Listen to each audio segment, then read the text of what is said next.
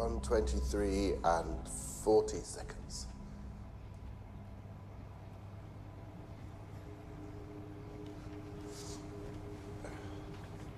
In every control room of every nuclear reactor in the world, there is a button with one single purpose The scram or instantly shut down the reaction.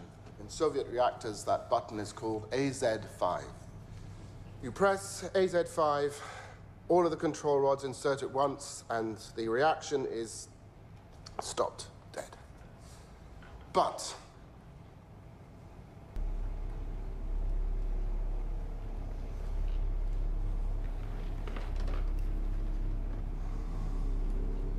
Dyatlov broke every rule we have. He pushed a reactor to the brink of destruction.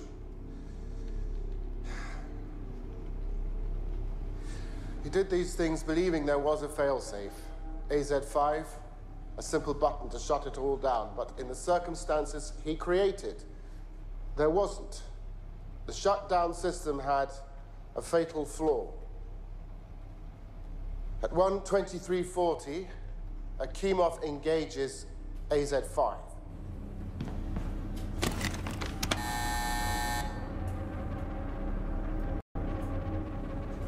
The fully withdrawn control rods begin moving back into the reactor.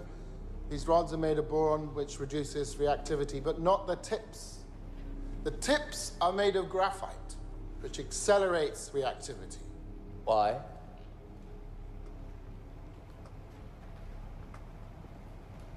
Why?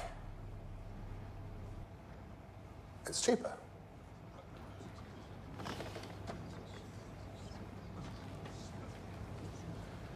The first part of the rods that enter the core are the graphite tips, and when they do, the reaction in the core, which had been rising, skyrockets.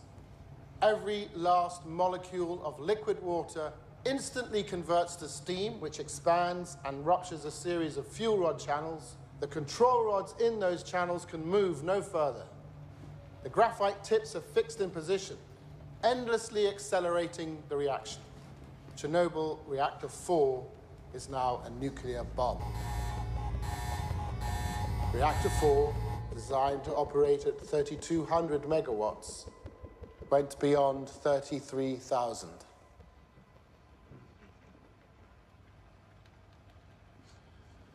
The pressure inside the core can no longer be held back. At long last, we have arrived. 123.45, explosion. In the instant the lid is thrown off the reactor, oxygen rushes in. It combines with hydrogen and superheated graphite. The chain of disaster is now complete.